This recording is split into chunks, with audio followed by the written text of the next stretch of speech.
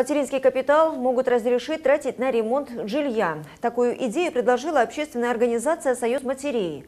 Именно эта мера стала самой популярной в исследовании Общественной палаты.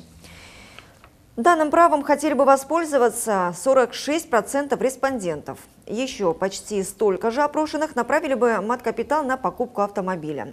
Сейчас материнский капитал можно направить на ипотеку, но, как выяснилось, не всем нужна новая квартира. В основном люди хотят улучшить жилье, которое у них уже есть. В Госдуме уже заявили о готовности поддержать эту инициативу. Напомним также, что в 2021 году материнский капитал будет проиндексирован. Его размер составит 483 882 рубля на первого ребенка и 639 432 рубля на второго.